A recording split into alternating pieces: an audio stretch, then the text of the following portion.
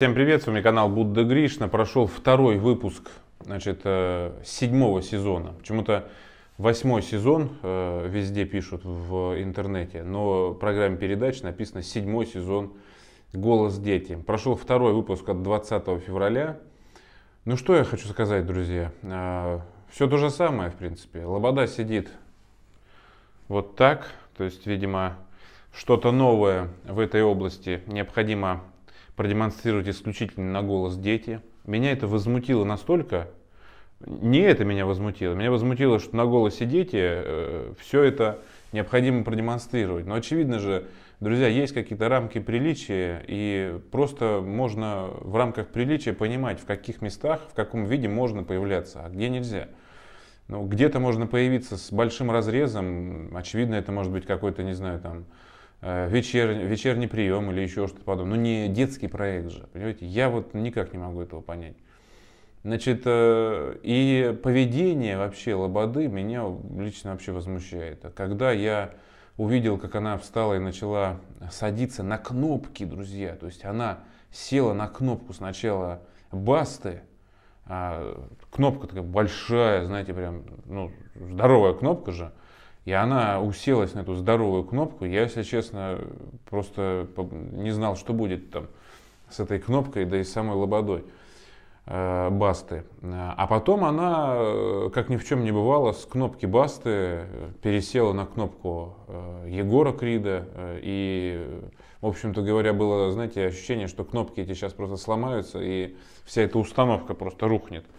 То есть э, вот это мне совершенно не ясно и непонятно. Потом, вы знаете, меня удивляет, что Лобода, она постоянно комментирует, какой красивый ребенок. То есть впечатление, что она вот зациклена на красоте детей. То есть если ребенок красивый, для нее все, для нее все остальное перестает существовать. Мне это тоже непонятно. Вообще, в принципе, все, что происходит, это, этого не должно быть, мне кажется, друзья.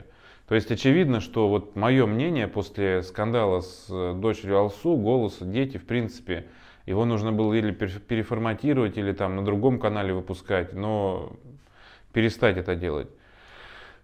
Значит, россиян, конечно, возмутил этот выпуск, как и первый выпуск «Голоса».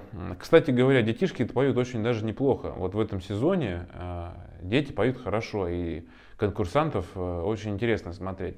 Больше всего, что меня вот э, просто вымораживает абсолютно, это когда вот включается после исполнения конкурсанта, а, после исполнения песни ребенком, вот этот какой-то бой непонятный. Он, вы знаете, в первых сезонах его не было, в первом, втором, третьем. А, когда начинают наставники прям уговаривать, иди ко мне в команду. Я просто не могу смотреть это, понимаете? Во-первых, я не понимаю, почему мы должны слушать. Ну, я не знаю, напишите в комментариях, может быть, вы на это не обратили внимания или вас это не смущает. Я не понимаю, зачем слушать столько времени, вот это вот уговаривание и вот эти перепалки между этими наставниками по там 5-7 минут между исполнением. Если можно там еще трех-четырех ребят послушать, это было бы гораздо интереснее. Плюс ко всему, это, знаете, доходит уже до каких-то нек- неких форм унижения. Иди ко мне в команду, нет, иди ко мне, нет, мы здесь делаем здесь. Это туда... И понятно, что это, видимо, какая-то концепция проекта, это, видимо, нужно так делать, но это выглядит отвратительно. Это выглядит просто ужасно. Есть жюри. Люди в жюри должны сидеть, э, понимаете, которые уважают себя, специалисты, эксперты. Они не должны ни за кого бороться. Если это конкурс, вокальный конкурс, как заявляется, главный вокальный конкурс – шоу, главное вокальное шоу страны, как многие сейчас говорят, которое не имеет к вокалу уже никакого отношения, в частности и Лоза уже, и Соседов, и Садальский, все уже, кто только можно, заявляют об этом. Дело в том, что э, конкурсанты должны выйти, если судьи повернулись, просто выбрать человека, пойти к нему и все. Вот это вообще нужно исключить, я считаю. Это просто унижает жюри, понимаете? То есть впечатление, как будто там сидят ну, там, в принципе, и так, но это ужасно просто, конечно. Значит, вот что э, написали наши с вами соотечественники. Ужас, что позволяют себе. Фанатов возмутило хамство наставников в новом выпуске «Голоса». Значит, Лобода, в частности, с Бастой устроили э, перепалку. Ставший наставником детского шоу «Голос» Баста нахамил Лободе, пишут в новом выпуске. В минувшую пятницу, ну, на самом деле показывали в субботу, 20 числа, потому что шестидневная рабочая неделя, здесь не точно. 20 февраля показывали. Борьба за каждого конкурсанта между наставниками разгорелась нешуточно. Еще раз скажу, мне кажется, вообще не должно быть. Почему наставники должны бороться за конкурсантов?